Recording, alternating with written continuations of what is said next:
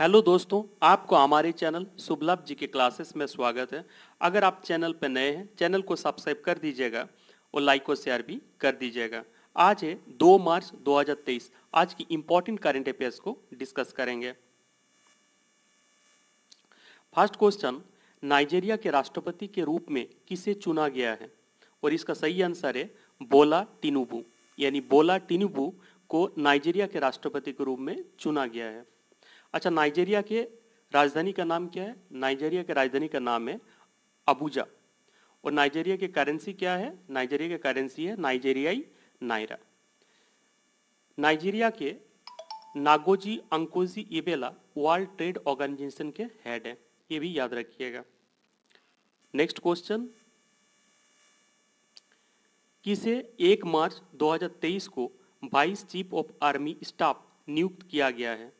और इसका सही आंसर है lieutenant general M B Suchindra Kumar यानी lieutenant general M B Suchindra Kumar को vice chief of army staff नियुक्त किया गया है। तो इसका सही आंसर हो जाएगा A lieutenant general M B Suchindra Kumar next question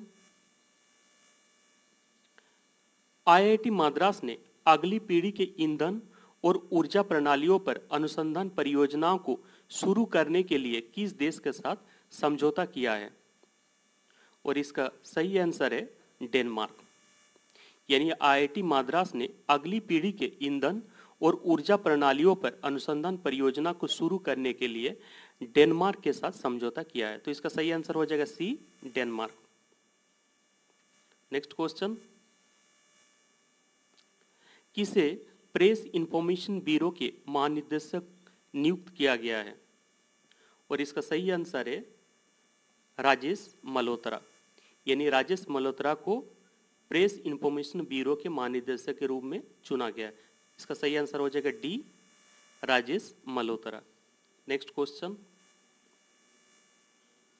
राष्ट्रीय बैडमिंटन चैंपियनशिप में महिला एकल का खिताब किसने जीता है?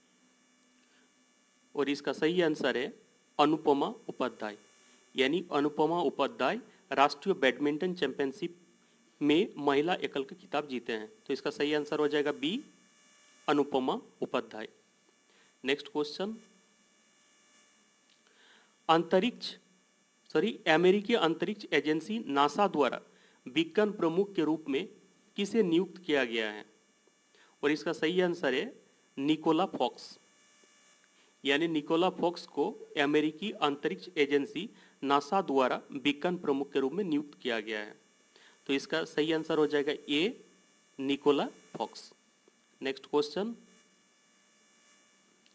GSM association द्वारा किस देश को गवर्नमेंट लीडरशिप अवार्ड 2023 से सम्मानित किया गया है? और इसका सही आंसर है भारत। यानी भारत को जीएसएम एसोसिएशन द्वारा गवर्नमेंट लीडरशिप अवार्ड 2023 से सम्मानित किया गया है। तो इसका सही आंसर हो जाएगा A Bharat. Next question Gujarat के नए महानिदेशक और पुलिस महानिरीक्षक किसे नियुक्त किया गया है? और इसका सही आंसर है विकास सहाय। यानी विकास सहाय को गुजरात के नए महानिदेशक और पुलिस महानिरीक्षक नियुक्त किया गया है। तो इसका सही आंसर हो जाएगा B, Vikas Sahay. Next question. किसे पश्चिमी नौसेना कमान के flag officer commanding in chief का पदभार संभाला है? और इसका सही आंसर हो जाएगा दिनेश के त्रिपाठी। यानी दिनेश के त्रिपाठी ने पश्चिमी नौसेना कमान के flag officer commanding in chief का पदभार संभाला है। तो इसका सही आंसर हो जाएगा सी, दिनेश के त्रिपाठी। Next question. किसे देश का एच एम आई समूह उत्तर प्रदेश में बहत्तर सौ करोड़ रुपए का निवेश करेगा? और इसका सही आंसर है जापान। यानी जापान जापान का एच एम आई समूह उत्तर प्रदेश में बहत्तर सौ करोड़ रुपए का निवेश करेगा। तो इसका सही आंसर हो जाएगा A, Japan. Next question INS Sukanya आधिकारिक तौर पर किस देश के पोर्ट पर पहुँचा है?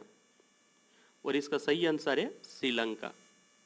यानी आई एन एस सुकन्ना आधिकारिक तौर पर श्रीलंका के तट पर पहुँचा है। तो इसका सही आंसर हो जाएगा C, Sri Lanka.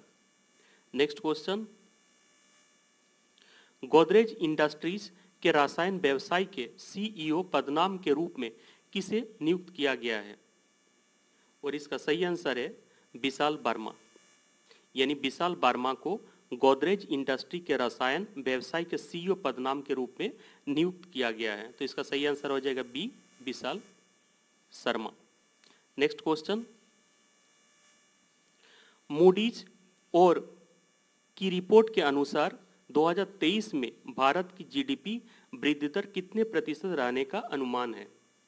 और इसका सही आंसर है 5.5 परसेंट। यानी मोडीज की रिपोर्ट के अनुसार 2023 में भारत की जीडीपी वृद्धि दर 5.5 प्रतिशत रहने का अनुमान है। तो इसका सही आंसर हो जाएगा ए 5.5 परसेंट। Next question. किसने चंद्रमा मिशन के लिए अपने रॉकेट के क्रायोजेनिक इंजन का सफल परीक्षण किया है? और इसका सही आंसर है इसरो।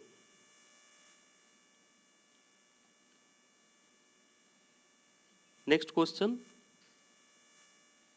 विश्व नागरिक सुरक्षा दिवस के रूप में कब मनाया जाता है? और इसका सही आंसर है एक मार्च। यानी एक मार्च को विश्व नागरिक सुरक्षा दिवस के रूप में मनाया जाता है। तो इसका सही आंसर हो जाएगा ए, एक मार्च।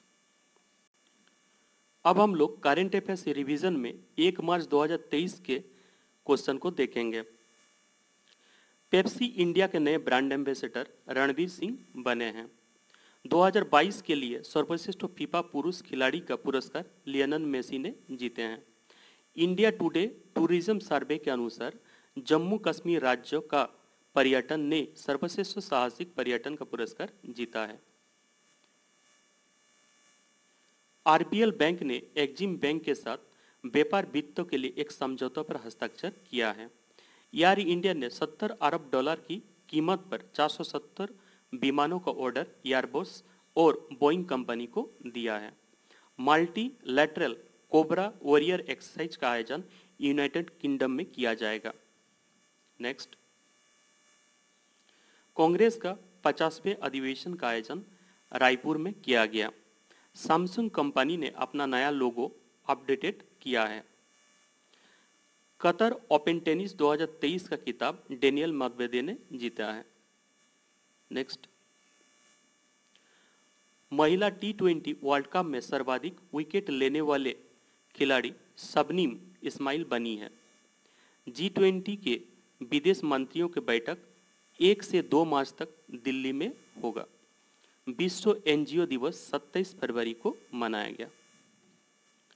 अगर आपको अच्छा लगा है प्लीज़ चैनल को सब्सक्राइब कर दीजिएगा और लाइक और शेयर भी कर दीजिएगा।